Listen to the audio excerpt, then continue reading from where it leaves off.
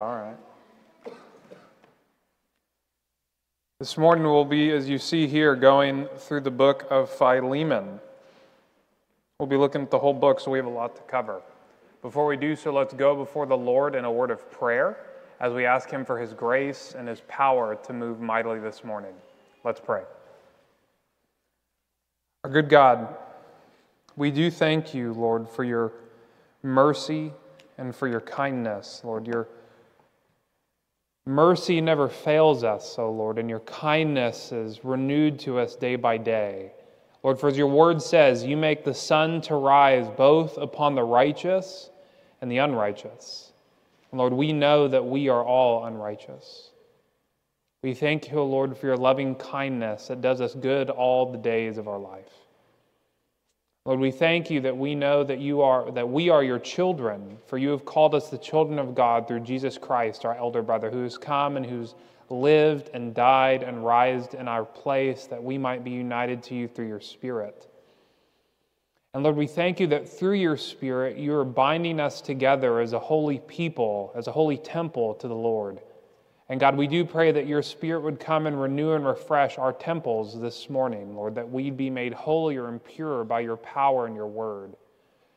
And God, we pray that this word, which is often hard for modern ears to hear, to be open and to hear it, and to not to put ourselves above the word of God, thinking that we can critique it, O Lord, but that we would be critiqued by this word, knowing, O Lord, that your word is perfect and without flaw and speaks to every issue and every time.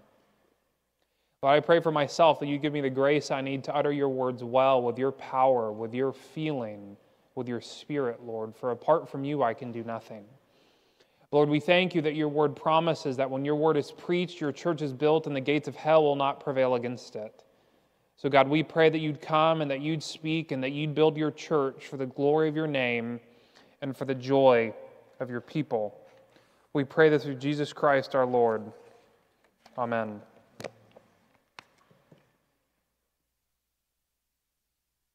Then Peter came up and said to our Lord, Lord, how many times shall my brother sin against me, and shall I still forgive him? Up to seven times? Jesus replied, I do not say to you up to seven times, but up to 77 times. For this reason, the kingdom of heaven is like a king who wanted to settle accounts with his slaves. And when he had begun to settle them, one slave who owed him 10,000 talents was brought to him. And just as a side note, 10,000 talents is a lot of money. As you may know, a denarii was worth one day's wage for a day laborer, about 60 bucks in today's money. And it was about 60,000 denarii that would make up one talent. So when you do the math, this makes up 180,000 years of day laboring service was this debt. That is to say, this was an unpayable debt. Let's keep reading. One slave owed him 10,000 talents, and he was brought to him. But since this slave did not have the means to repay, his slave master commanded that he be sold, along with his wife and his children, and with all that he had, so that repayment could be made. So that slave fell to the ground and prostrated himself before his Lord and said, Have patience with me, and I will repay you everything. And the master of that slave felt compassion, and he released him and forgave him the debt of all those talents. But that slave went out that day and found one of his fellow slaves who owed him but a few hundred denarii. And he seized him and began to choke him, saying, Pay back what you owe me. So his fellow slave fell to the ground and pleaded with him, saying, Have patience with me, and I will repay you. But that slave was unwilling, and he went and threw his other slave, that other slave, until he could pay him back what was owed him. He threw him into prison. So when all the fellow slaves saw what one slave had done to another slave, they were deeply grieved and came and reported to their slave master all that had happened. Then summoning him, his master said to him, You wicked slave, I forgave you all of that debt because you pleaded with me. Should you not also have had mercy on your fellow slave, in the same way that I had mercy on you? And his master, moved with anger, handed that slave over to the torturers to torture his body until he would repay him those 10,000 talents. And Jesus looked at his disciples and said, My heavenly Father will also do the same to you if each one of you does not forgive his brother or his sister from his heart. Friends, this morning, I would like for us to consider a flesh and blood example of Jesus' parable in the short letter that Paul wrote to the slave master Philemon. We will consider that the book of Philemon itself is an embodiment of this parable and how those who've been forgiven a great debt by Christ can forgive the much smaller debts that men owe them. And this is our main idea that we're going to look at this morning from Philemon is that the spirit of Christ powerfully works for radical transformation and reconciliation in the church. Our main idea from Philemon is this is that the Spirit of Christ powerfully works for radical transformation and reconciliation in the church, as we'll talk about it a bit at the end. And that powerful transformation and reconciliation can and should extend from the church into all the world. That's what we'll be looking at this morning.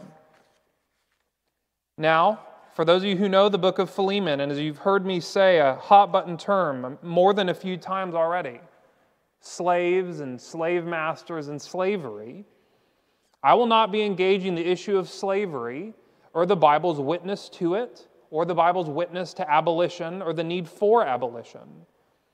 For though abolition, that is to say, that's a fancy word that refers to the freeing of slaves, is found in seed form as an implication of what Paul wrote to a slave owner.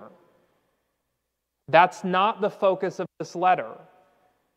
Westerners, because of the hideous past we have as it relates to slavery, often think that slavery is at the forefront of this letter, and friend, it is not though we may wish that it was.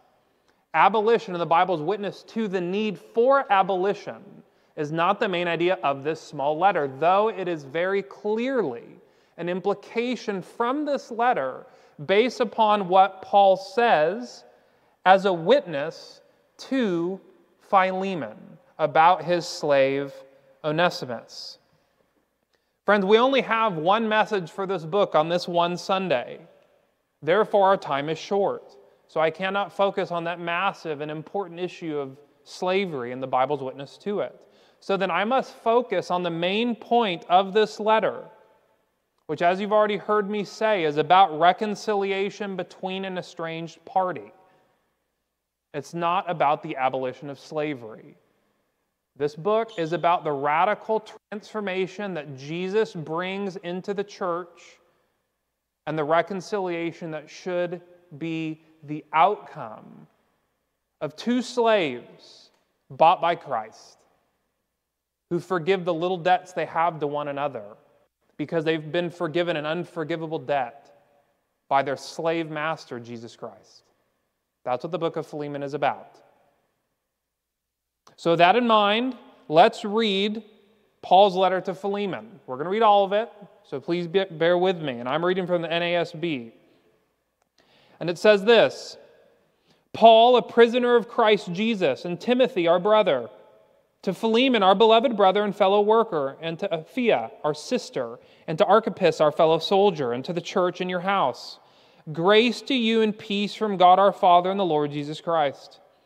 I thank my God always, making mention of you in my prayers because I hear of your love, Philemon, and of the faith which you have toward the Lord Jesus and towards all the saints.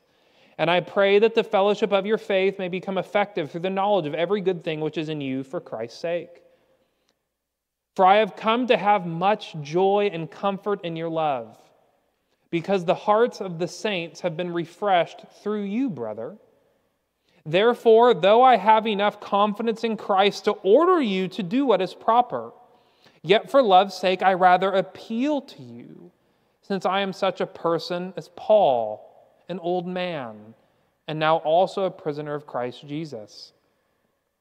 Philemon, I appeal to you for my child, Onesimus, whom I have begotten in my imprisonment, who formerly was useless to you, but now is useful both to you and to me. I have sent him back to you in person, that is, sending my very heart, whom I wish to keep with me, so that on your behalf he might minister to me in my imprisonment for the gospel. But without your consent, I did not want to do anything, so that your goodness would not be in effect by compulsion, but would be of your own free will. For perhaps Onesimus was for this reason separated from you, Philemon, for a while, that you would have him back forever. But no longer as a slave, but then more than a slave, a beloved brother, especially to me but much more to you, both in the flesh and in the Lord. If then, Philemon, you regard me as a partner, accept Onesimus as you would accept me. But if Onesimus has wronged you in any way or owes you anything, Philemon, charge that to my account. I, the Apostle Paul, am writing this with my own hand. I will repay the debt.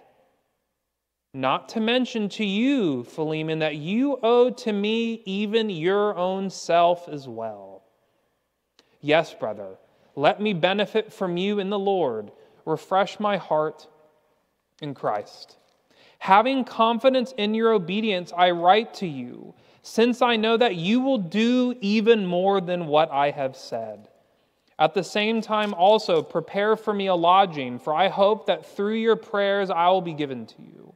Epaphras, my fellow prisoner in Christ, greets you, as do Mark, Aristarchus, Demas, Luke, and all my fellow workers. The grace of the Lord Jesus Christ be with your spirit, Philemon. This is the word of the Lord. Again, our main idea this morning is this is that the spirit of Christ powerfully works for radical transformation and reconciliation in the church. Now, to see this and to break down this letter, I'm going to have us look at a few things to make sense of what Paul is saying to Philemon here. So, first, let's just consider the three important people in this letter. So, first, we have the Apostle Paul, and he, in a church like this that teaches the word, needs no introduction, does he not? Paul, the great apostle, the former persecutor of the church of Christ, that vehement man Saul, who went from church to church, ravaging the church of God, converted by the, uh, by the Lord Jesus Christ on the road to Damascus, powerfully knocked down, blinded by the light of Christ's glory. Who, Jesus says to him at that time, You will be my witness to the Gentiles, my light to the Gentiles. And so the great missionary the Apostle Paul was born. And this letter, as you can see, is written at the near end of his life. For what does he say? I am an old man now.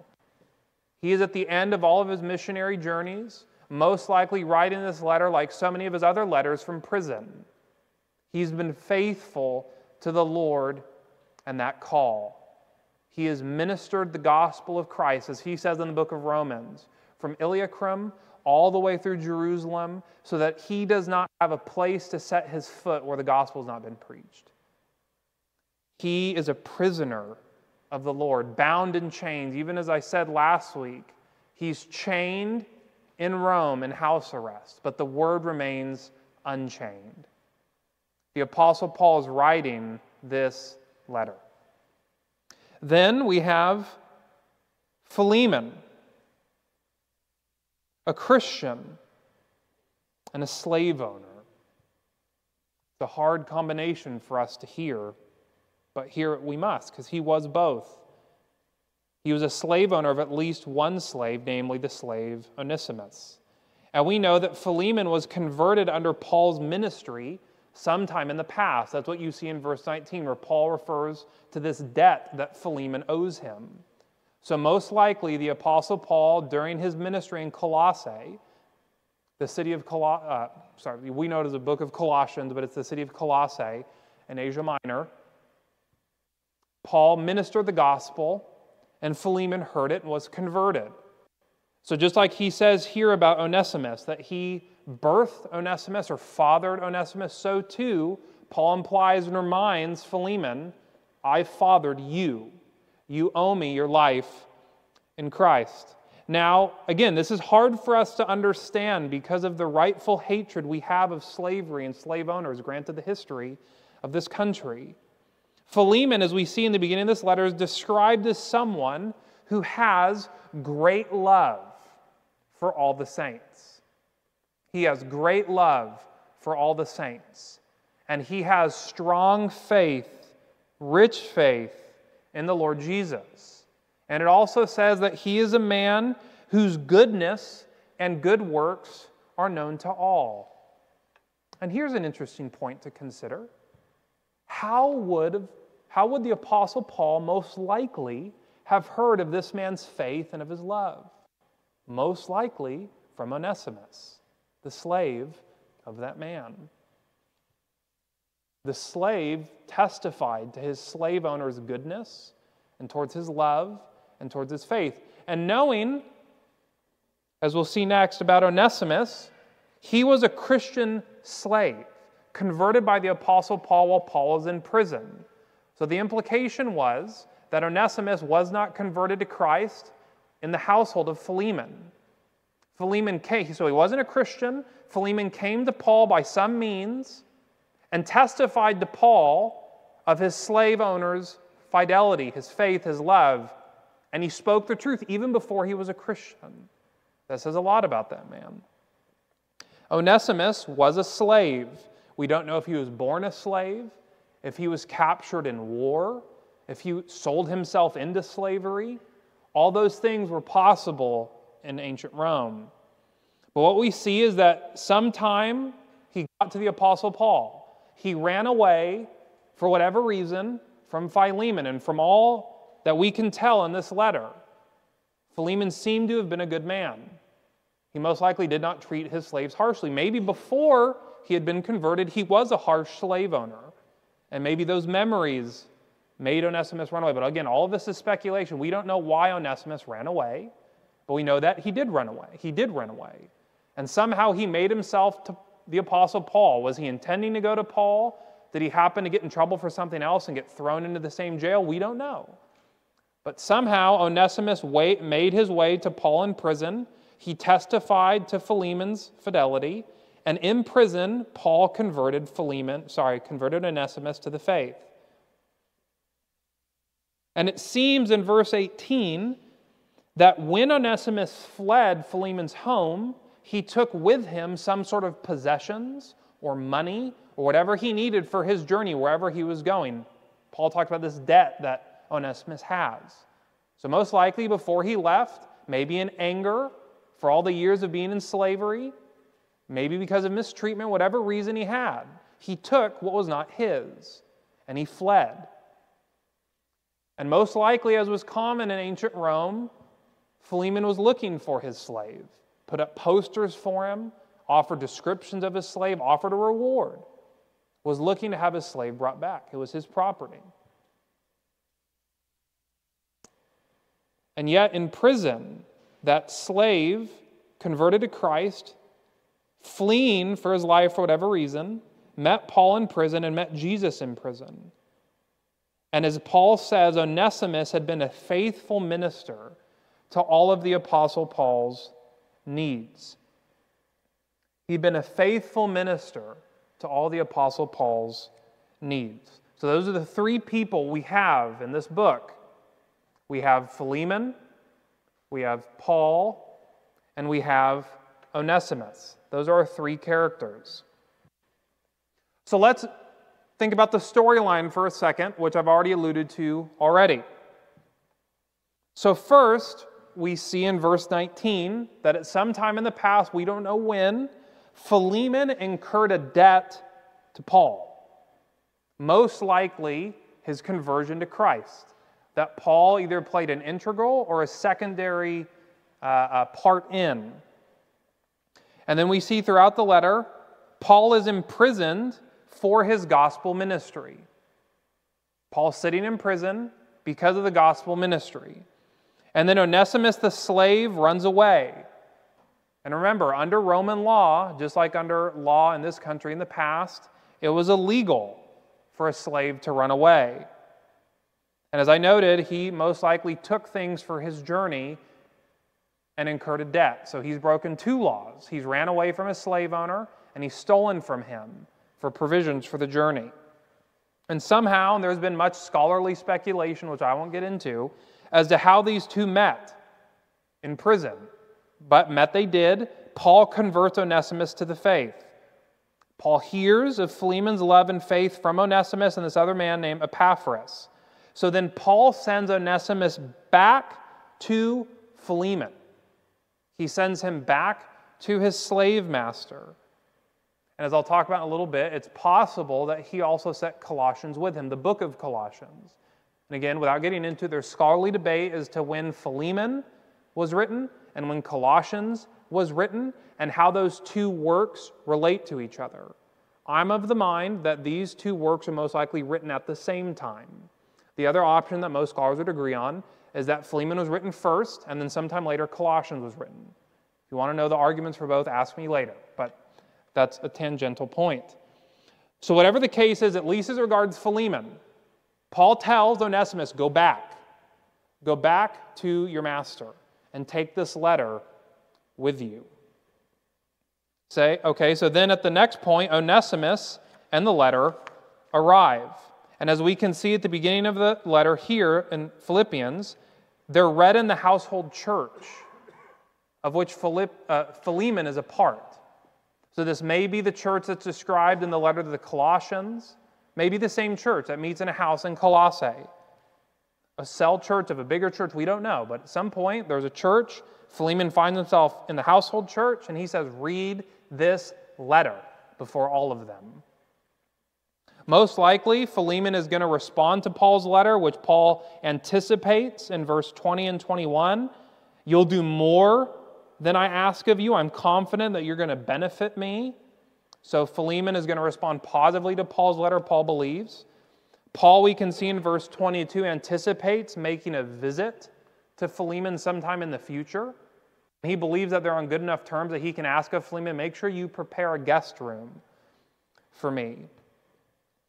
And based on what we see in Colossians and in the testimony of the early church, it seems that Philemon welcomed Onesimus back.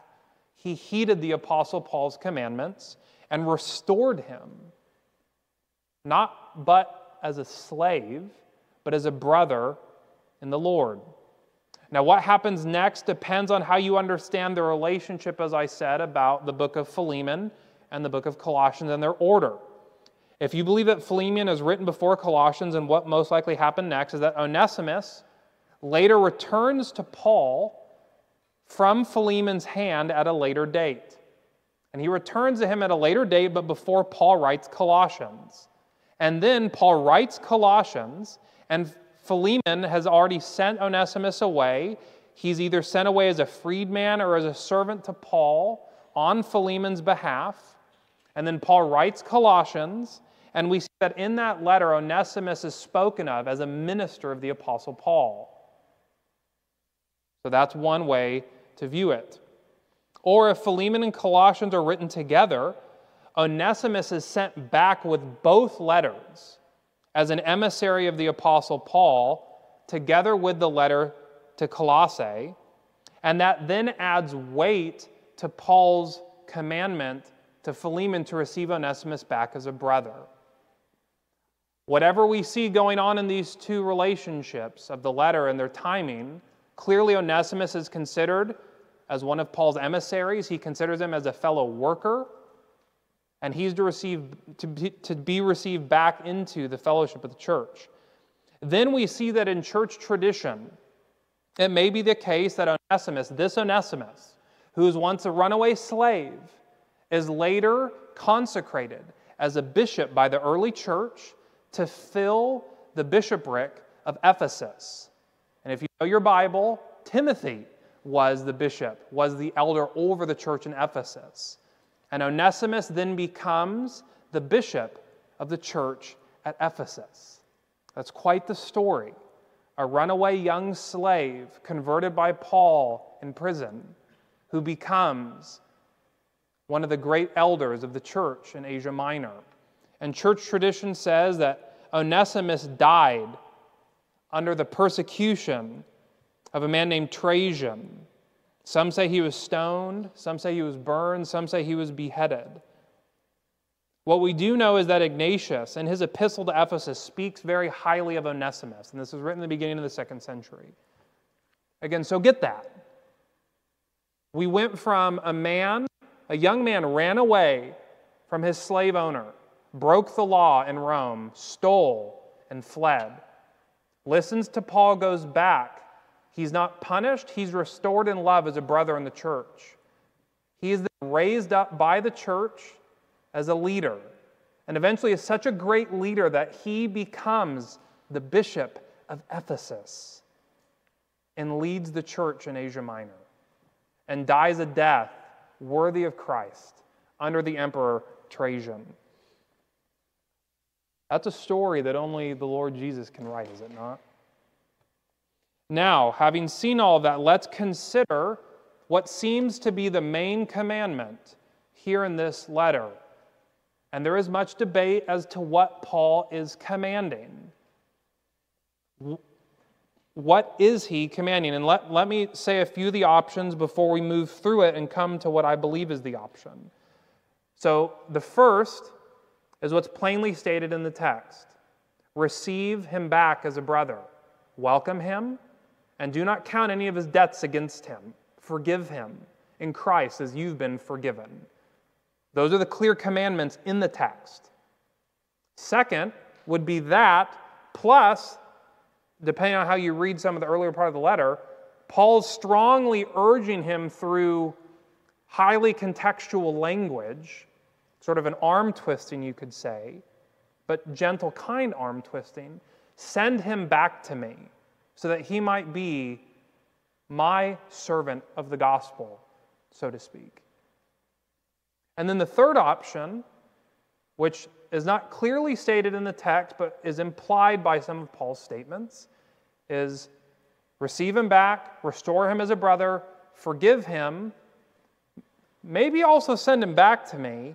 But then the third option would be the command here that he's saying, I, want to, I don't want to command you, I want to compel you to do it from love, would be to free Onesimus from slavery. To use the fancy term, it's called manumission to manumit him, to let him go away free. Those are the three options here. What is Paul commanding? Is it merely to receive him back as a brother, to forgive him all of his debts? Or is it also to do that plus send him back to Paul as an emissary of the gospel and a servant of Paul's ministry?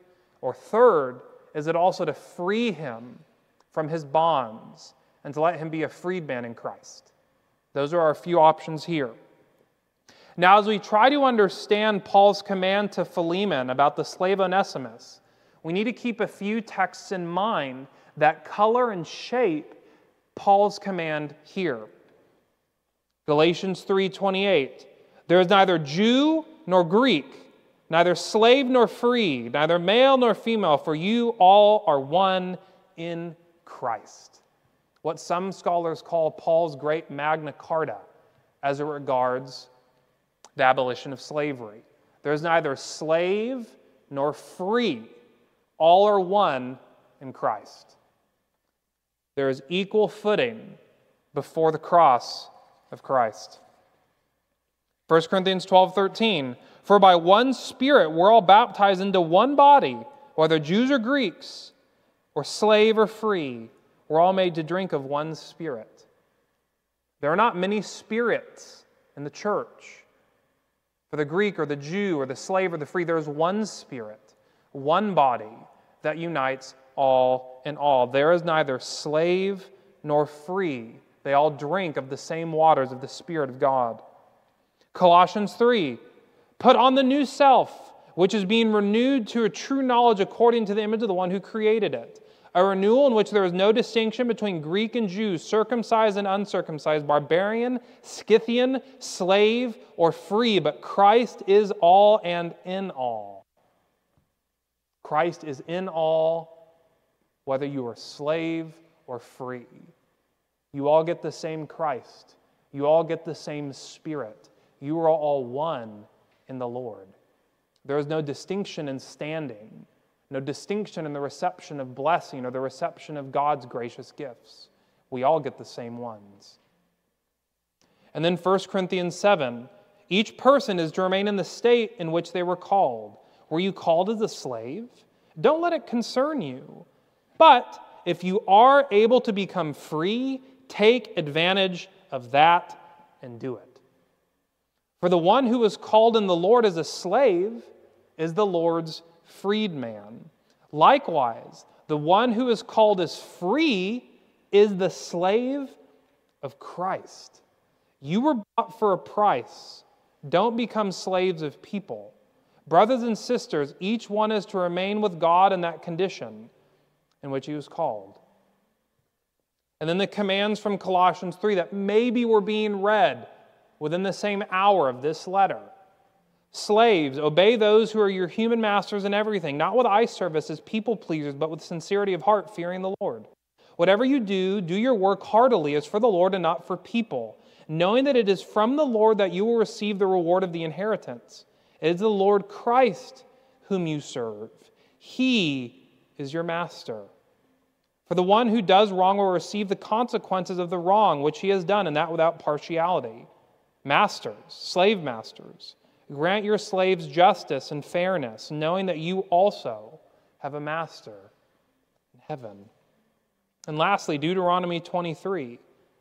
You shall not hand over to his master a slave who has escaped from his master to you.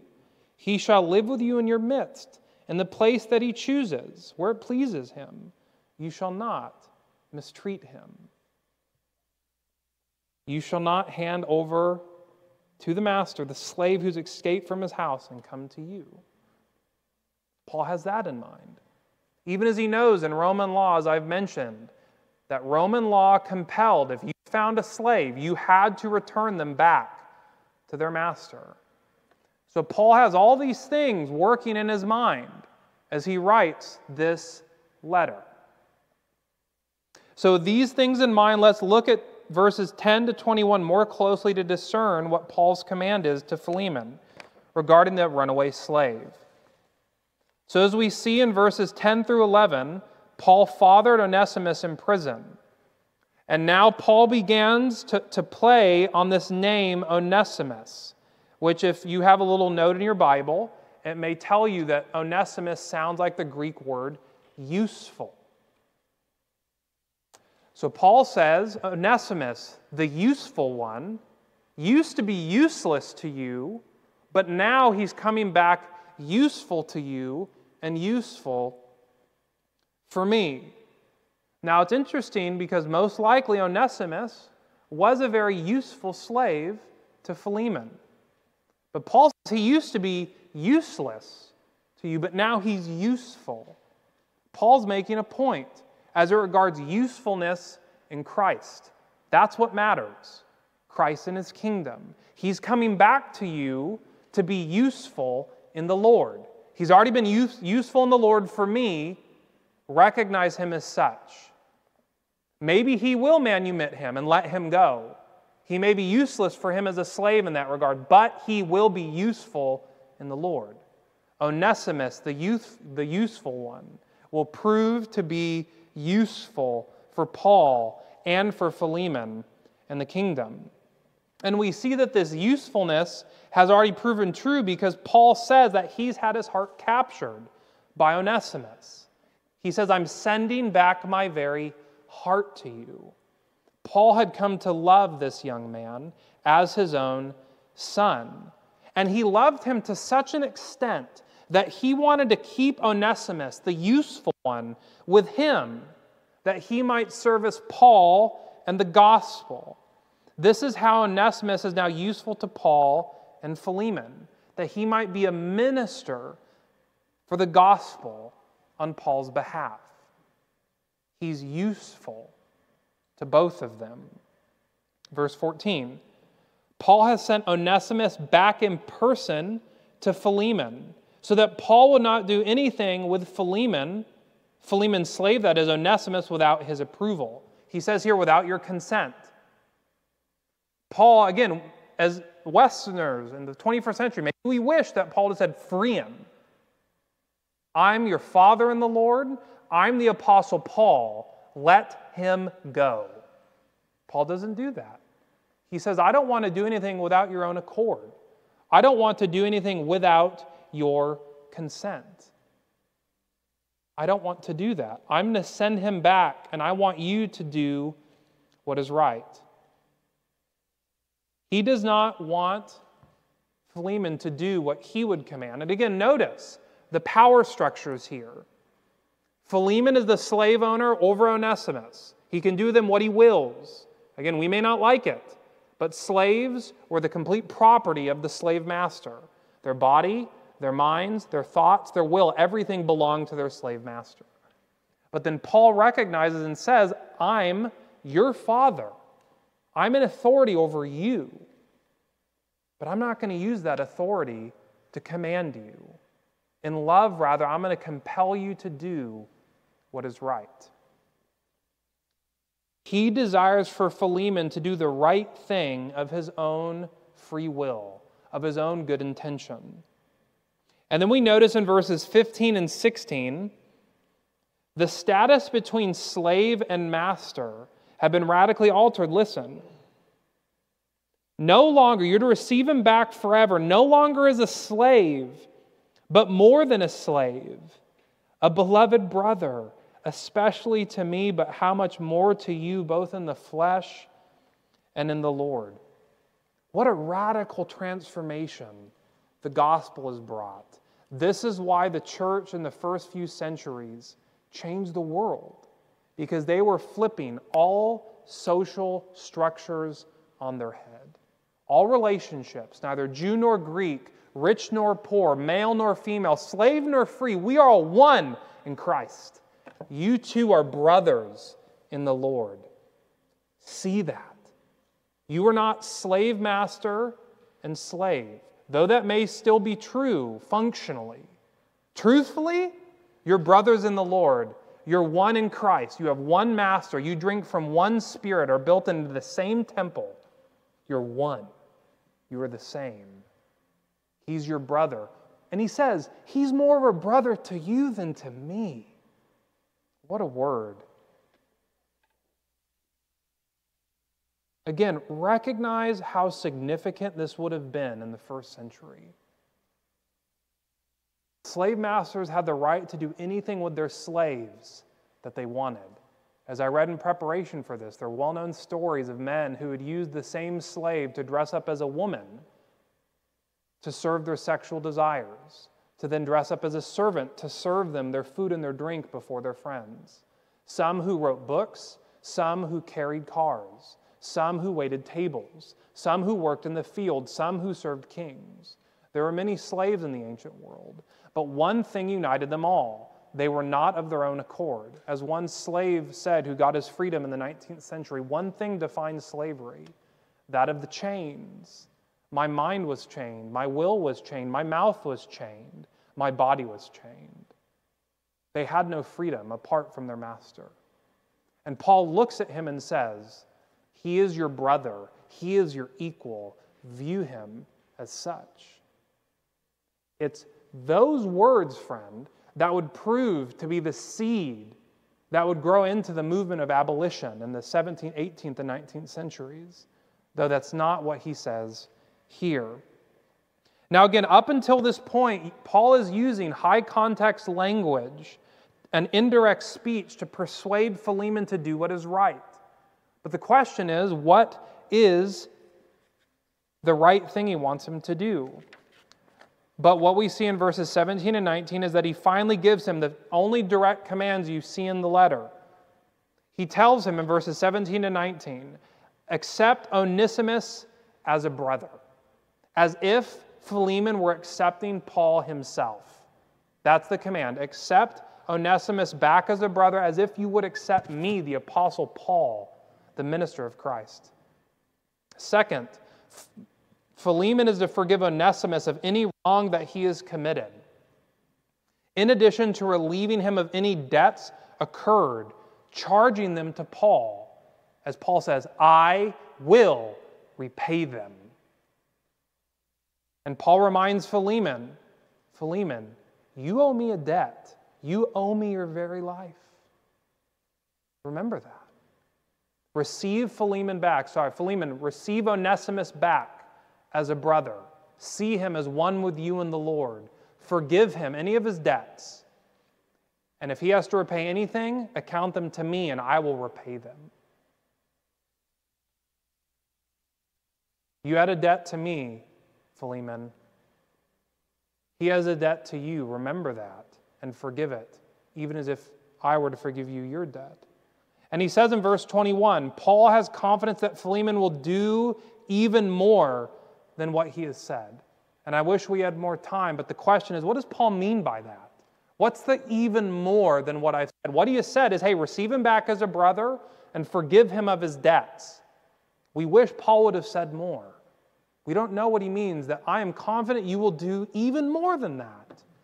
Is that to send him back to Paul as an emissary of the gospel, still as an enslaved man?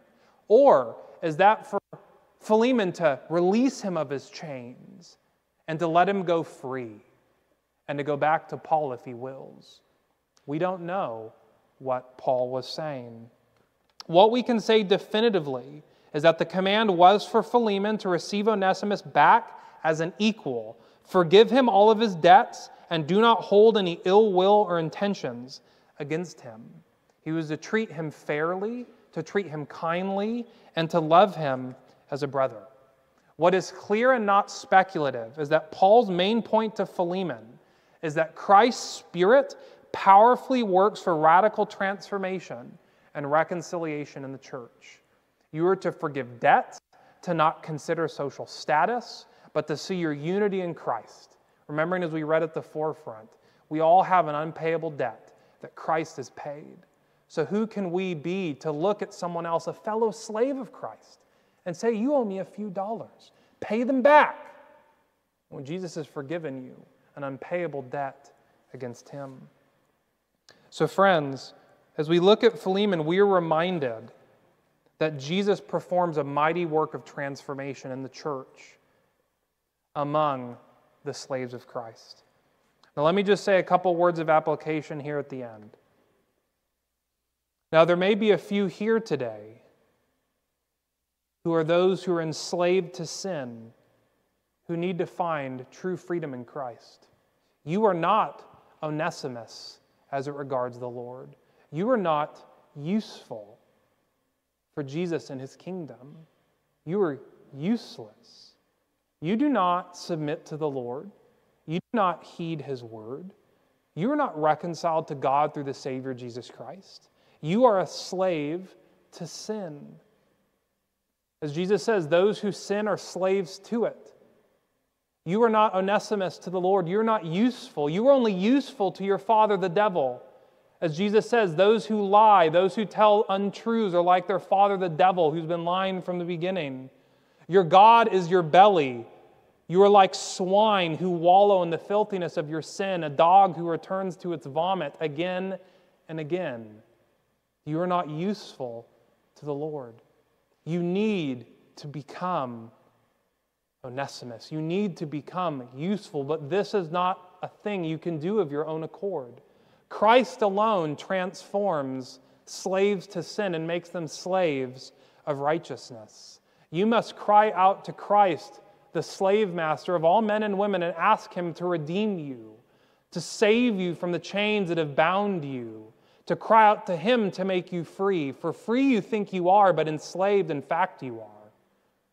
Your mind is not your own. Your will is not your own. Your thoughts are not your own. As St. Augustine has said, in this life, on this side of the garden and on the other side of eternity, all you can do is sin and do nothing but sin. So think yourself not a freed man or a freed woman in this world. You are a slave with hidden spiritual shackles that you do not see. So turn to Christ and find true freedom in the one who can make you whole, in the one who can make you Onesimus and make you useful to the Lord. who can take you as one who was once a slave and transform you into a bishop for the kingdom. Call out to Christ, call out to God, your Savior. And now, for those who are the slaves of Christ, remember, that is what we are. As 1 Corinthians 6 says, friend, you are not your own. You were bought with a price. Honor God with your body. We need to be Onesimus as it regards the Lord. We need to be useful for the Lord and his kingdom. As Paul says, if you are in Christ and you're free, you're a slave to Christ. Friends, we are slaves to Christ, which means our will is not our own, our mind is not our own, our thoughts are not our own, our life's goals are not our own. He says and we do. We don't like to hear that, which is why our modern translations do not say the doulos of the Lord is the slave of the Lord. What do we say? We're bondservants. Friend, I'm here to tell you the Greek word is clear. You and I are slaves of Christ. He is our slave master. He commands whatever he desires so that we follow him wherever he wills. We have no choice. So I commend you to your, to your Savior, your Master Christ. Be Onesimus unto him, be useful. And what we can see in this text, as it regards our usefulness in the church, is to remember Jesus' parable about forgiveness. Friend, you've been forgiven a great debt by the Lord, a bigger debt than you or I could ever pay. So, when your brother or your sister here in this church sins against you, forgive them not seven times, but 70 times seven. Have a forgiving heart, a heart that recognizes you've been forgiven of so much. How can you for, not forgive your brother or your sister the little squabbles that you have amongst yourself? Be useful. Don't be unuseful. Love each other in the church. Forgive one another your debts. In love, cover them all, for Christ in his love has covered them all.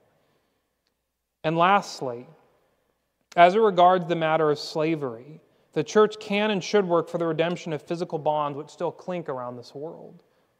And though our culture loves lately to talk about our evil past, that same voice fails to recognize the tens of millions of slaves that are enslaved around this world today. Boys and girls trapped in sex slavery or trapped on ships in Thailand fishing without their own wills. People who are forced to clean and to cook in Africa and Asia. Millions of children here in America who are enslaved in dungeons to perform the pleasures of evil men. So we need not think that we are somehow a higher nation than those in the past who gave a wink to slavery, for we are as wicked as they. So then, like this letter says, we need to be those, and this would be a good life to live, young men and women, to advocate for those who are enslaved, to spend your life fighting for their freedom, for there are slaves, millions of them around us today. And Paul's word to Philemon is the same word to us, your brothers and sisters in the Lord. We must work for redemption and work for wholeness because Christ has worked for redemption and wholeness as well. Might we remember that in Christ we can all be useful to the Lord as we submit to his sovereign lordship. Let's pray together. Our great God, we thank you for your kindness and for your word. Lord, that you have saved us from sin, you've redeemed us from evil and from wickedness. God, and you've made us the slaves of the King Most High. Oh God, we pray that we'd be men and women who would honor our Lord, honor our Savior, and be faithful unto the call that you have called us to.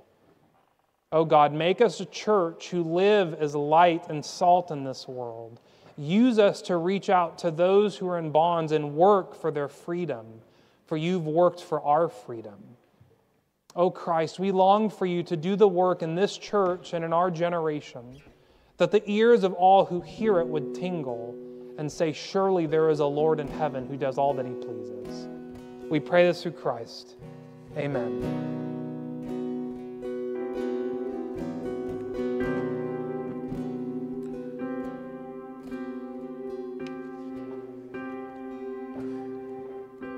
This time we're going to be entering into time of prayer to respond to the message of God from book of Philemon. Uh, let us first pray about, just reflect about how we were forgiven by Jesus Christ. If we forget how we have been forgiven, I think it's very easy to demand for retribution from others.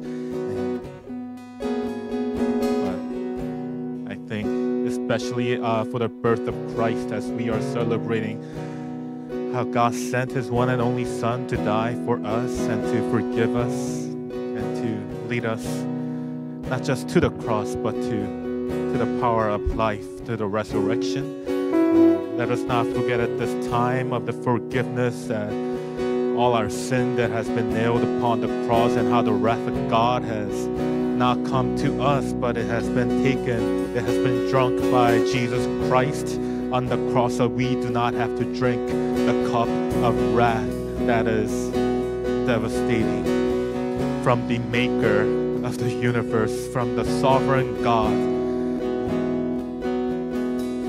So at this time, let us reflect about the forgiveness of God. And if you do not know how God has forgiven you through Jesus Christ, He has. He loves you. That's why He sent His one and only Son.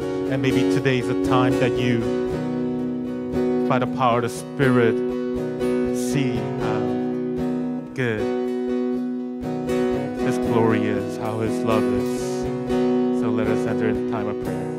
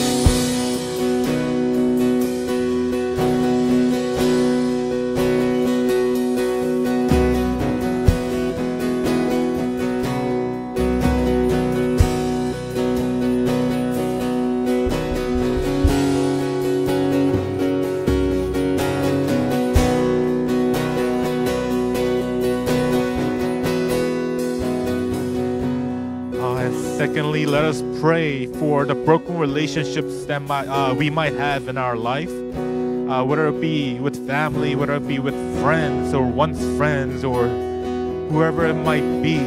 Uh, as the story of Philemon demonstrates to us, I believe that every relationship, every broken relationship has potential to show the love of Christ.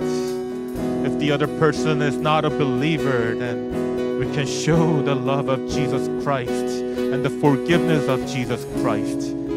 Perhaps it will not lead to reconciliation yet, but we can exemplify what we have tasted from the Lord Jesus Christ. And if it's with the other fellow believer who have the Spirit of Christ in them, perhaps we can show forgiveness to each other and take the necessary steps for reconciliation at the necessary time, uh, led by God.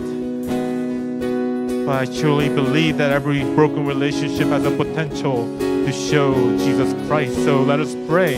Um, whoever you might have broken relationship with, it's gonna hurt. We're not gonna want to think about it. We want to push it aside.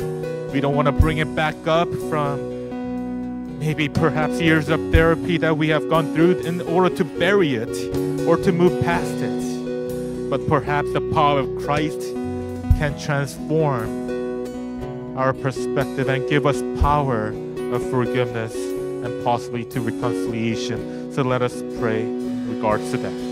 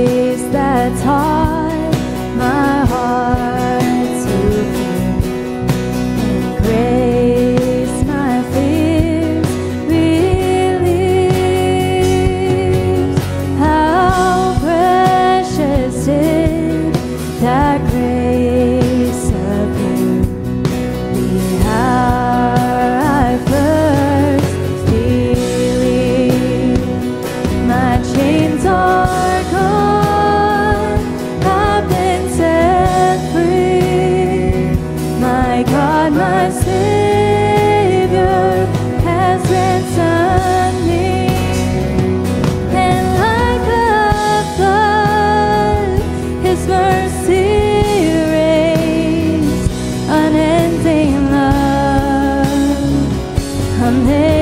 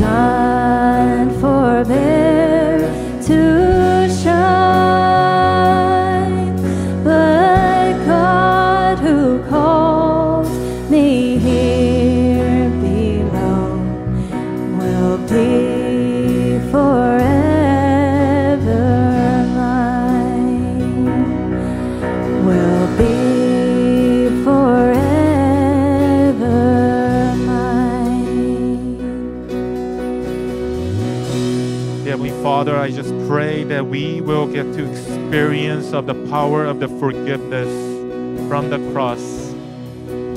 And we thank you for the salvation that you have shown us. And we just want to pray that we want to follow you as our master, the good master who is fair and righteous, who exemplified to us of the power of the mercy, Lord. And as we have learned of your forgiveness and mercy upon our lives. I pray that we'll be able to do the same. Might hurt, it might not be the same, it might take us a lot of time to get there, Lord, but just pray that you'll have mercy upon us and yes, you'll be patient with us and that you will also plant in our hearts deeply and root in us of your love so that we may be able to show the love of Christ even through broken relationships that we might have in our lives, Lord. Lord, we thank you that you have saved us. Lord, we thank you for being our master. Lord, we thank you for always providing us with the way of escape, Lord. And some of us really need that wisdom, and some of us in this moment, we really need that restoration and refreshment that only comes from you, Lord. Lord, would you help us taste that living water in our lives, Lord. Lord, if we are dry in our hearts, spiritually dry, just pray that you will get us through. And let us not be ashamed. Let us not be embarrassed to cling unto you so that we may testify how you were always there with us. Lord, we thank you. And may the Lord bless you and keep you the Lord make his face shine upon you and be gracious to you. The Lord lift up his countenance upon you and give you peace. Amen.